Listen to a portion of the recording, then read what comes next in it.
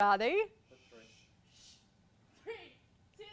Forget pep rallies and parades. School spirit is growing in a different way at Arizona State. Brien McElhatten shows us how as we go around town.